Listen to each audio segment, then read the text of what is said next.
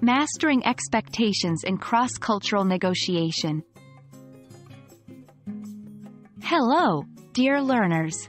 Today, we're diving into a critical component of cross-cultural communication, especially in the world of business, managing expectations.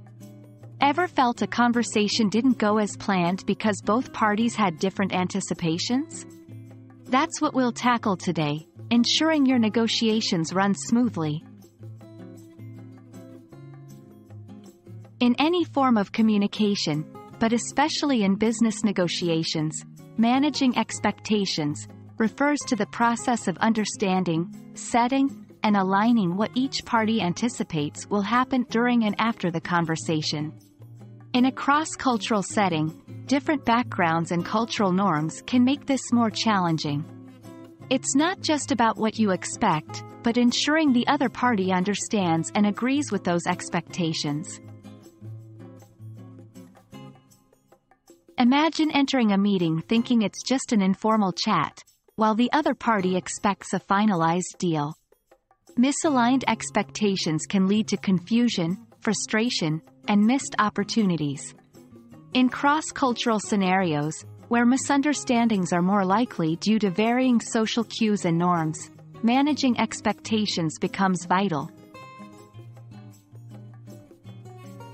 1. Open dialogue.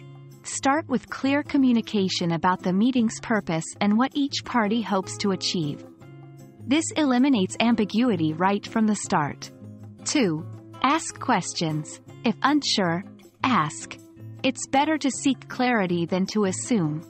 3. Document everything, especially in business. Have a written agenda or a list of discussion points. This gives everyone a clear roadmap. 4. Be aware of cultural differences. Understand that some cultures might view time, punctuality, directness, or even the concept of agreement differently. 5. Feedback loop. At the end of discussions, summarize the main points and ensure everyone is on the same page.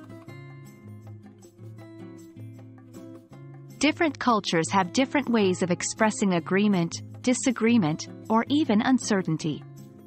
For example, in some cultures, saying, yes, might mean, I understand, rather than, I agree. It's essential to be aware of these nuances. There might also be varying levels of directness. Some cultures value being direct and to the point, while others might consider this rude and prefer a more roundabout way of communicating. Managing expectations is like setting the stage for a successful play. It ensures everyone knows their roles and what to expect, reducing the chances of unpleasant surprises. Especially in cross-cultural settings, where misunderstandings can be costly, mastering this skill is invaluable. We hope this video has shed light on the importance and techniques of managing expectations in cross-cultural negotiations. Until next time, Happy learning!